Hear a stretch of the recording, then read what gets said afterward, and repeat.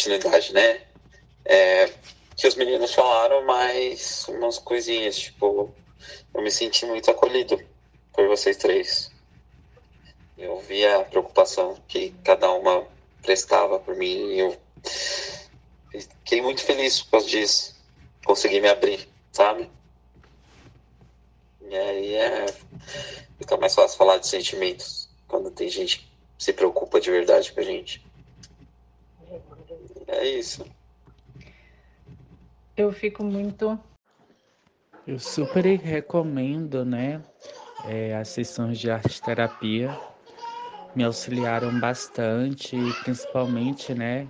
Na questão de ansiedade e foi ótimo, né? Estar em companhia é, das pessoas realizando, né? Os trabalhos de arte terapia, até porque eu tinha acabado também, né?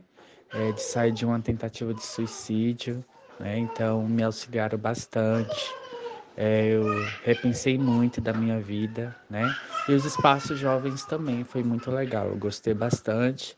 Espero aí, né, que esses trabalhos retornem para ajudar outros jovens também. A cura. Ela pode estar relacionada ao pensamento, o mesmo que causa dor e ansiedade, mas também está relacionada à calma. Reflexão para combater a dor e o pessimismo. Nenhum drama ou medo pode combater o pensamento. Reflexão ou até mesmo um momento de respiração. Apenas pare, respire e então se cure. Bem, o yoga com a Marcela, com a Ana, com a galera foi uma experiência muito bacana na pandemia, né? É, ele veio para somar já com a minha rotina, né? Comecei em 2021 e não só os movimentos, mas a questão da respiração, é, as posições. Eu não sei falar o nome de eu acho que é assim se fala e o Yoga Nidra, que eu acho que é a parte que eu mais gostei. Até porque é um, um relaxamento consciente.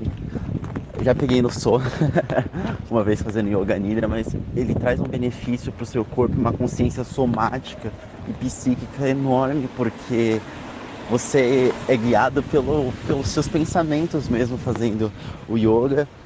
E o projeto foi muito acolhedor, né? cada aula que eu participei, sempre gostei muito. A Marcela, uma professora excelente, e eu recomendo para todas as pessoas que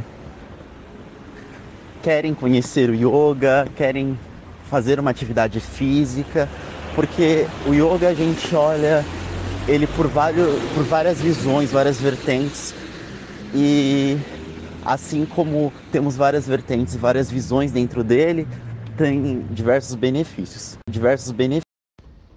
A minha experiência com yoga foi bastante necessária na minha vida, porque a minha respiração, no caso, estava muito ofegante e eu não conseguia respirar.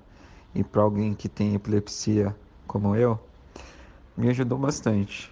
Então, eu recomendo mesmo. Porque é bom a gente procurar esse tipo de coisa para nossa vida, não só quem tem epilepsia no caso. É, a gente aprende mais a relaxar e ver as coisas de outra forma.